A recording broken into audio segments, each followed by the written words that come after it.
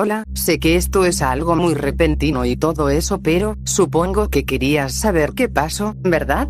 Pues, bueno, te lo contaré desde el principio, justo unos años antes de que pasara. Recuerdo que antes Skak, o Surprise era muy diferente, ella no era una loca, ella, ella era como una niña, inocente, tierna y hasta a veces muy tonta para algunas cosas, pero, uno de esos días sentía que algo muy malo iba a pasar, no en esos días, sino más adelante, era insoportable ese sentimiento, pero no pude estar tranquila hasta aquel momento. Intenté tranquilizarme, ya que pensaba que era solo un sentimiento perdido, como era costumbre, pero, debí haberle hecho caso a ese sentimiento, después, Surprise empezó a estar un poco rara, los demás no lo notaban, pero, yo sí, me preocupé porque pensé que le habían hecho o dicho algo, pero ella no quería hablar conmigo, así que traté de que ella hablara conmigo pero no funcionó, solo se enojó y se fue, dejándome sola ahí.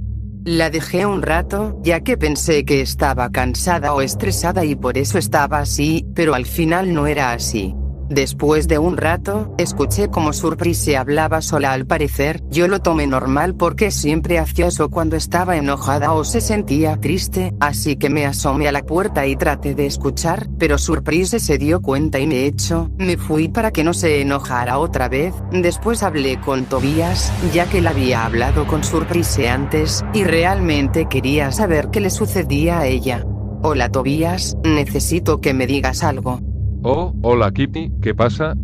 Quería saber qué le pasaba a Skak. Es que como tú hablaste con ella antes tal vez puedes decirme qué le pasa, claro, si te dijo algo sobre eso. Ah, ella me dijo que solo está muy estresada y que no quiere que le hablen por unas horas, solo eso. Tienes razón, me había olvidado, pero no se te hace raro que esté así desde hace unos días. Tienes razón, pero tú sabes que Skak es complicada a veces y que sus cambios de humor duran bastante.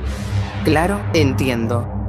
Pero no te preocupes, ya se le pasará como siempre. Bueno, está bien, esperaré. Tobias estaba raro también, estaba como si estuviera mintiendo, aunque estaba mintiendo, pero yo me callé para no molestarlo o algo, luego fui con Max, para hacer algo y liberarme un poco de toda esa situación, estábamos platicando tranquilamente hasta que se escuchó un fuerte sonido, creo que era de un golpe, no lo recuerdo muy bien, yo me alerté y Max se asustó un poco, me detuve a escuchar y era Surprise que había tirado algo, pensé que se le había caído algo y lo ignoré, Max me miraba con cara de que me preocupara, era yo no hice caso y solo seguimos platicando tranquilamente, Tom entró a la sala de estar donde estábamos Max y yo, Tom se veía algo histérico, le pregunté qué le pasaba y no contestó, solo se sentó al lado de Max con la mirada baja y no dijo ni una palabra, yo lo dejé, ya que él siempre estaba algo histérico por una u otra cosa, después de unas horas comimos y todo eso y me fui a mí